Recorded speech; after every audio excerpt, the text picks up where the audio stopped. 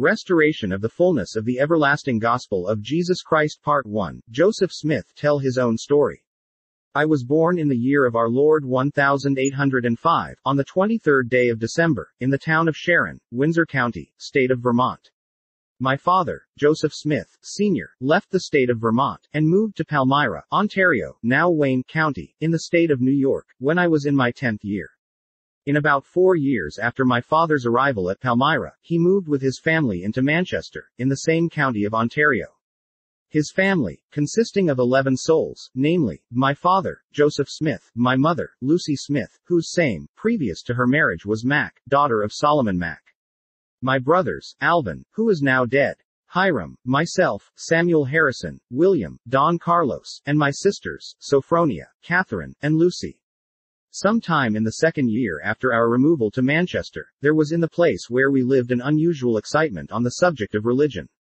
It commenced with the Methodists, but soon became general among all the sects in that region of country. Indeed, the whole district of country seemed affected by it, and great multitudes united themselves to the different religious parties, which created no small stir and division amongst the people, some crying, Lo, here, and some, Lo, there. Some were contending for the Methodist faith, some for the Presbyterian, and some for the Baptists.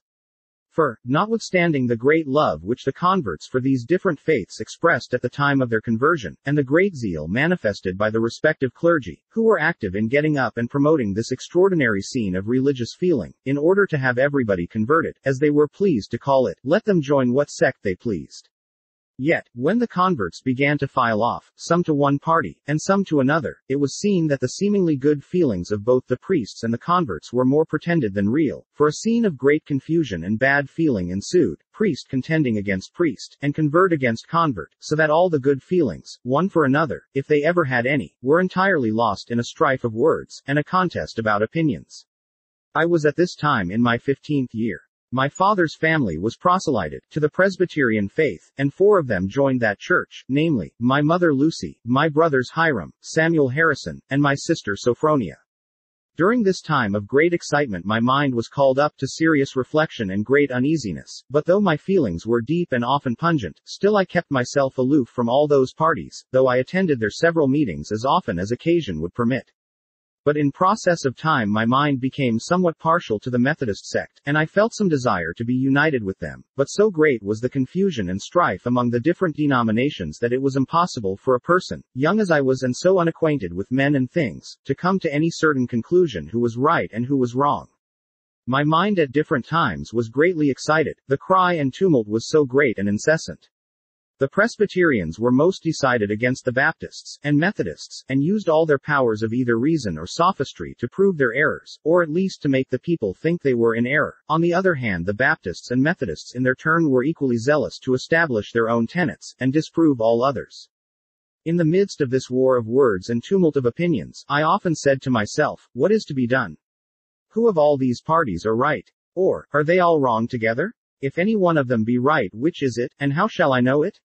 While I was laboring under the extreme difficulties caused by the contests of these parties of religionists, I was one day reading the epistle of James, first chapter and fifth verse, which reads, If any of you lack wisdom, let him ask of God, that giveth unto all men liberally and upbraideth not, and it shall be given him.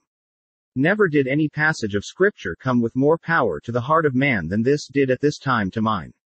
It seemed to enter with great force into every feeling of my heart. I reflected on it again and again, knowing that if any person needed wisdom from God I did, for how to act one did not know, and unless I could get more wisdom than I then had would never know, for the teachers of religion of the different sects understood the same passage so differently as to destroy all confidence in settling the question by an appeal to the Bible. At length I came to the conclusion that I must either remain in darkness and confusion, or else I must do as James directs, that is, ask of God. I at length came to the determination to ask of God, concluding that if he gave wisdom to them that lacked wisdom and would give liberally, and not upbraid, I might venture. So in accordance with this my determination, to ask of God, I retired to the woods to make the attempt.